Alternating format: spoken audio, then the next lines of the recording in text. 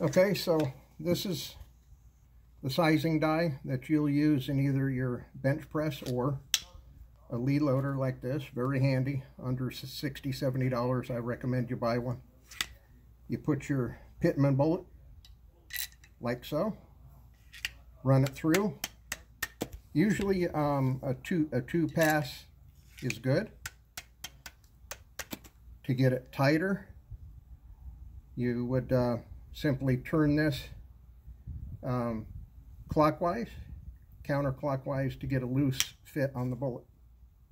Once it's sized for the bore, you take your uh, powder funnel, put it right inside the break. If you don't have these, I recommend you get these. These are the powder vials.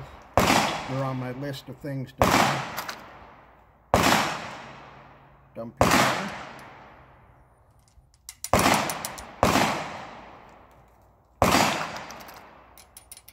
Give it a couple shakes here on the funnel, make sure all the powder's down.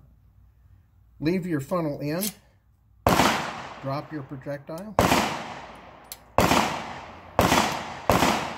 Always make sure, this is the loading jag, and the loading jag is specifically tapered for these long, wicked, pointed bullets. You can see it fits right in there without damaging the tip. So make sure that this is always on. Some people uh, accidentally have left this in the bore. It can come off with use. We recommend Loctiting it. Place this on the bullet. Notice how easy I can do it with two fingers. I call it the two finger push. And seat that bullet right against the powder. No sabot, no wadding, no bullet is seated right on top of the gunpowder.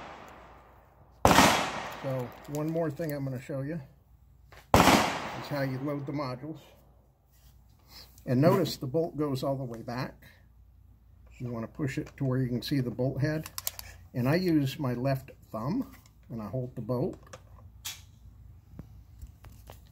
Take the module, 40 degree angle, push in.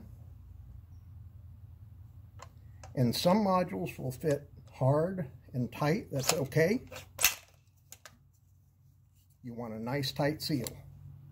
There is a sizing die that I'm going to recommend after this build to pre-size the modules, but a nice tight fit of the module is safe and it's common and you do want a lot of down pressure to have 100% seal because it's not like a repeating arm. You're not going to be cycling it back and forth. One shot, one kill.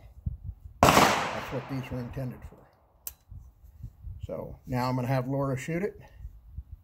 Next video. Go ahead and pause the video and